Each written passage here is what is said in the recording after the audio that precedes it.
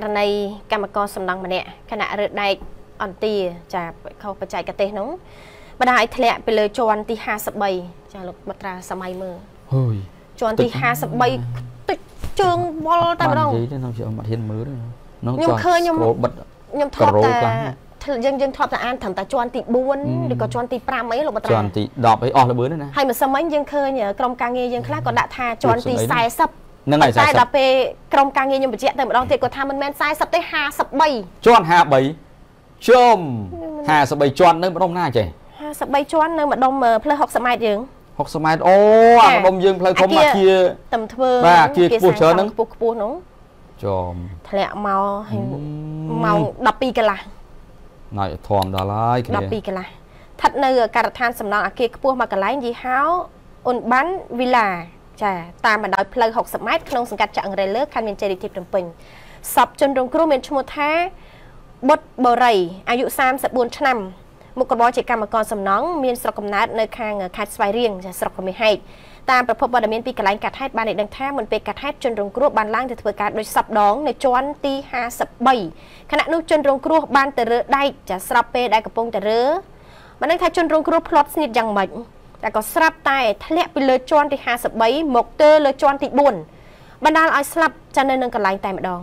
ហើយពាក់ព័ន្ធនឹងករណីនេះដែរក្រោយមកក៏មានកម្លាំងសមត្ថកិច្ចមូលដ្ឋានចុះទៅដល់កន្លែងកាត់ហេតុនិងបានតាក់ទងខាងជំនាញធ្វើកសោវិច័យចាបច្ចេកទេសលើសពចាហើយ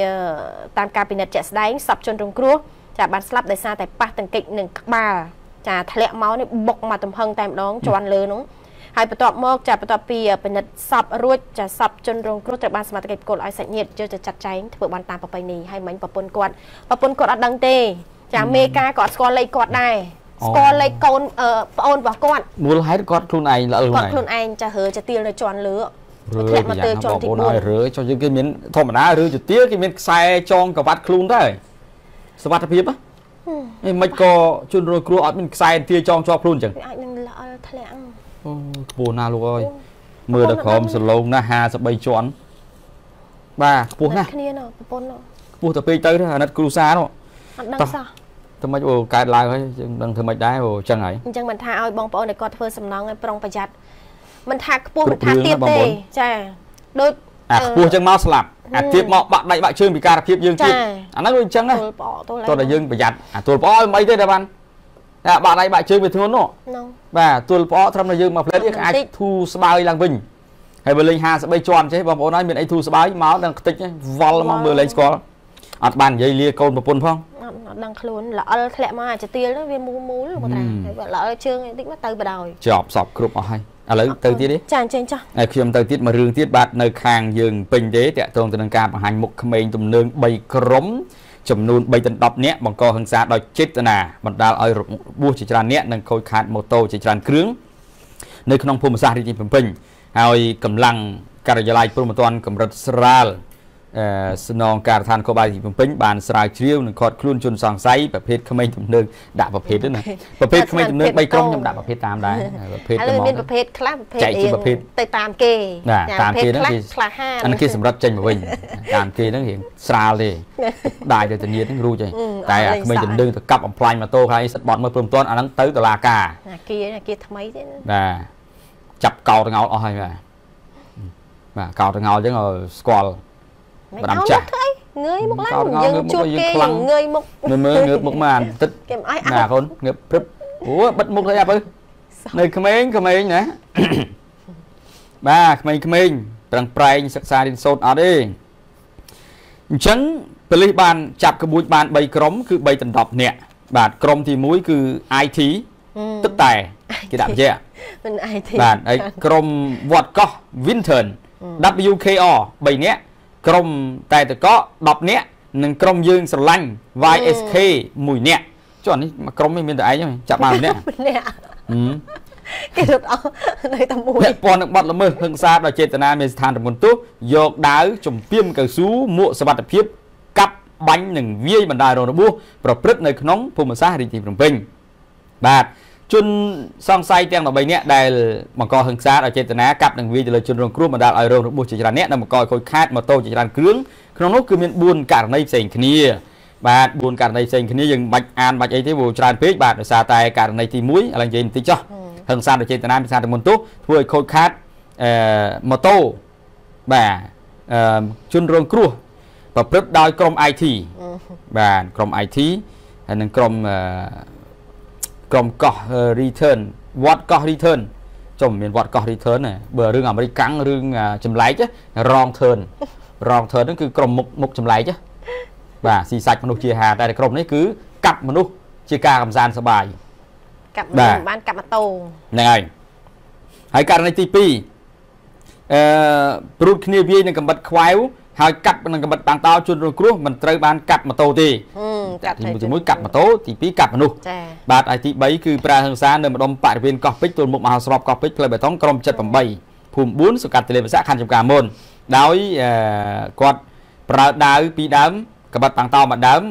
កាប់គ្នាទៅលើជនរងគ្រោះចាបាទ អត់ទេតាមត្រូវចប់យូរហើយបណ្ដៃខ្ញុំអានតិចតិចឲ្យខ្លីៗឲ្យដឹង3ករណីហ្នឹងអត់ថែមច្រើនទេណោះក្រុមដើមពោនោះតែមិនចាប់ទេក្រុមដើមពោនឹងក្រុមព្រាយក្បាល8អរគុណច្រើនលោកនេះជំរាបជូនព្រឹត្តិការណ៍ថែមទៀតហើយសូមប្រគល់វីរៈជូនដល់ដៃគូតែម្ដងបាទចាខ្ញុំតែមុនណាបាទអឺពាក់ព័ន្ធជាមួយនឹងករណីអឺក្មេងទំនើងចាក្មេងទំនើងសិនរឿងក្មេងទំនើងនេះនៅខាងខេត្តកណ្ដាលអ្នកដែលគាត់អឺប្រសពខាង កាន់កំបិត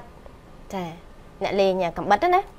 7នាក់ឥឡូវនេះគឺត្រូវបានឡើងតឡាការចាកុំអោយបកាយតកាប់គេពេក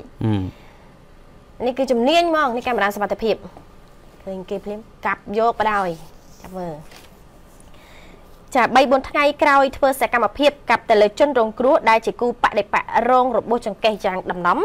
ជនសង្ស័យសិតសឹងតែជាក្មេងស្ទាវ7នាក់នៅក្នុងចំណោមគ្នាគ្នា11នាក់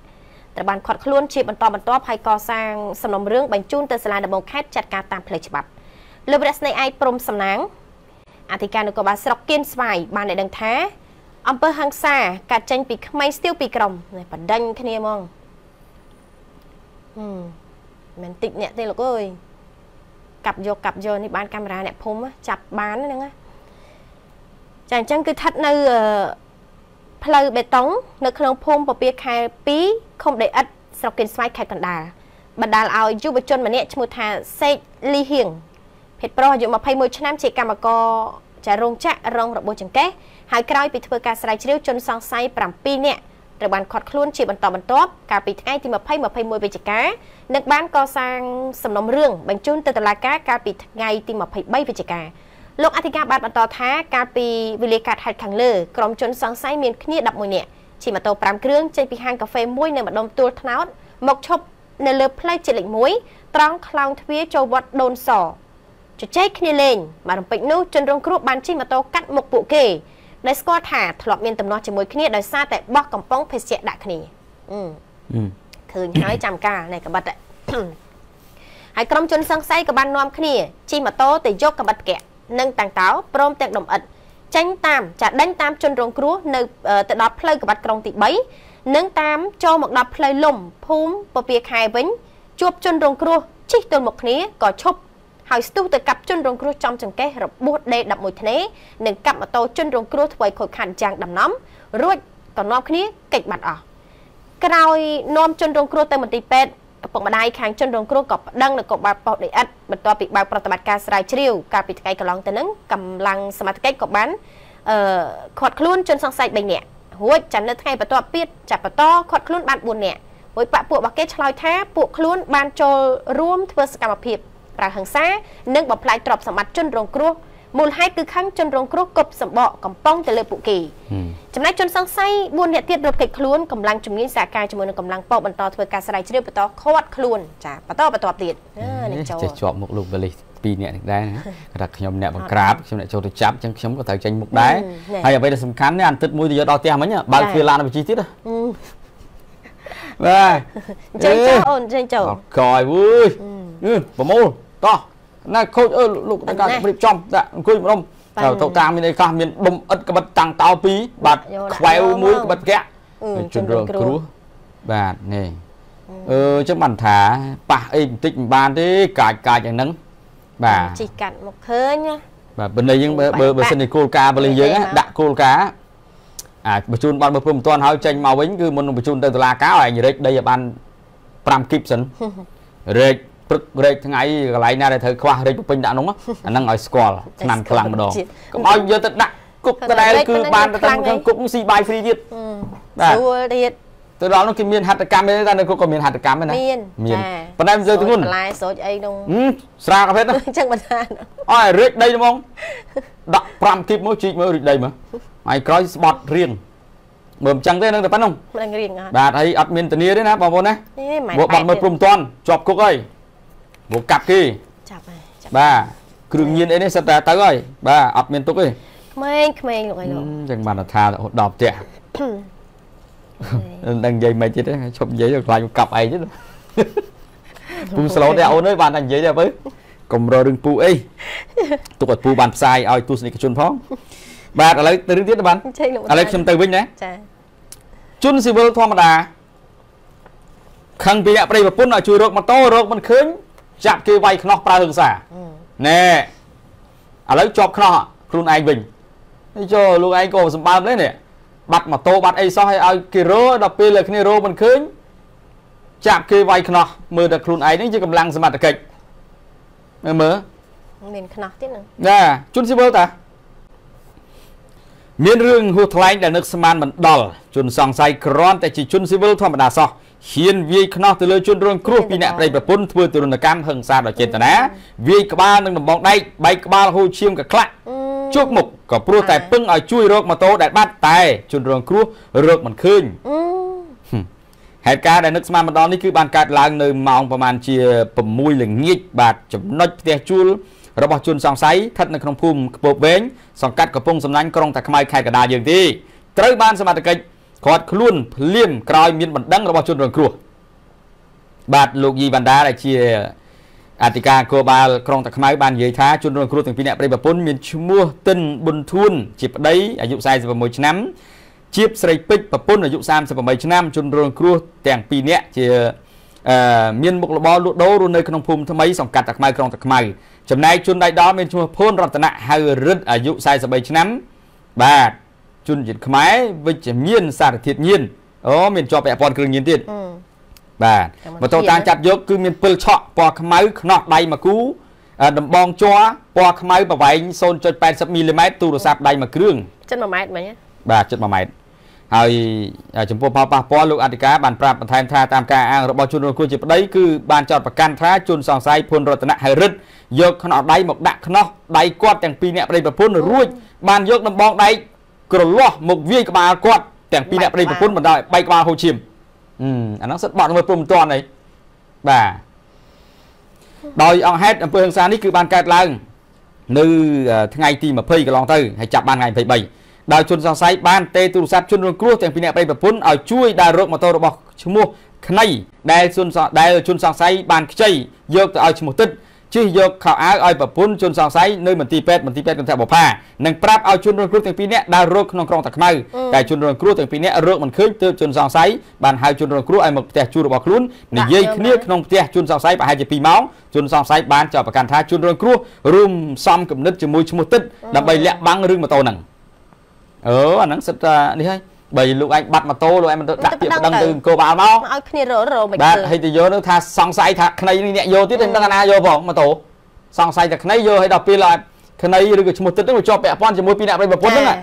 ហើយទៅចោតប្រកាន់គេមិនទាន់នឹងមានភ័ស្តុតាងច្បាស់លាស់ហើយចាប់គេមកវាយអាហ្នឹងសិតតែគុក